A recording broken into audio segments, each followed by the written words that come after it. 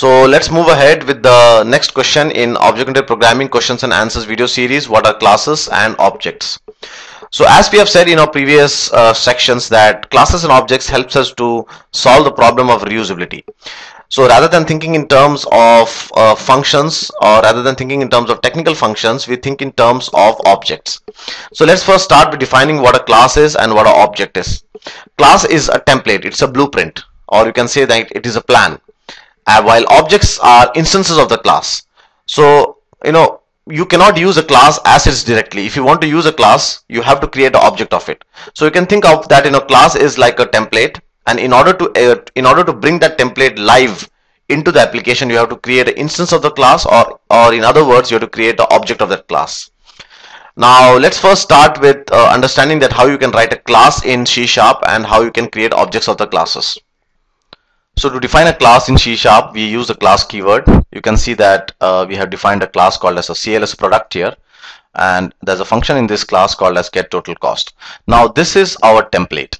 Now, in order to use this template in your application or in your UI, you need to create an object. So you can see that I have set CLS product, which is nothing but the class, the name of the object, and then saying new the, the class. So by using the new keyword, you can create objects uh, in your C Sharp application. So to define a class, you use the class keyword and to define an object of that class, you use the new keyword and then later on once the object is created you can then make calls to the functions so over here when I created the object called as obj I can now call up the function in the object saying obj.get total cost give whatever the value is and get the output so here's the actual uh, code we have. You can see that we have defined a product class called as CLS product uh, with the class keyword.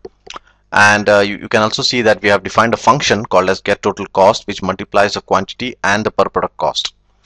Uh, now uh, we have two UIs uh, one is our single entry UI and what we have done is that we have created the object of product and we have displayed the value in the text box by using the get total cost function.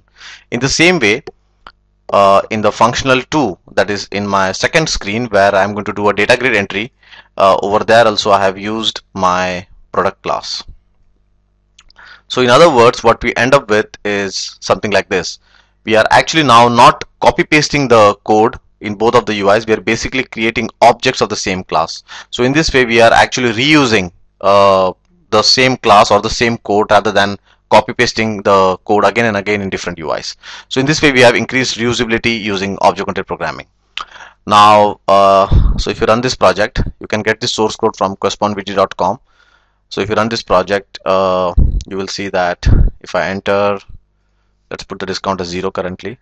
So here's my I entered one quantity and let's say I entered four and I say calculate. By object-oriented programming I get three and the same code I have used uh, in my second UI which is a data grid entry so again the same thing here and uh, you can see that it calculates the total cost so this one is more of a grid entry kind of a screen while the first one is more of a single entry but both of them use the same class and because of this uh, we have decreased uh, redundancy and we have increased reusability.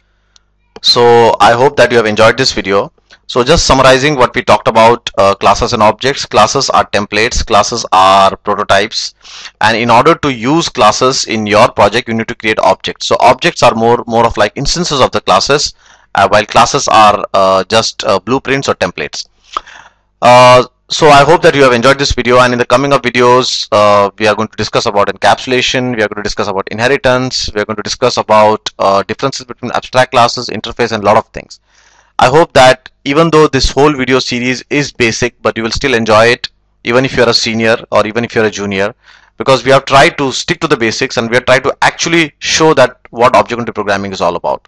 So I will really request that you see only one video in a day. In case you are a fresher, just look into one video in a day think about it and understand the fundamentals so see you in the coming up uh, videos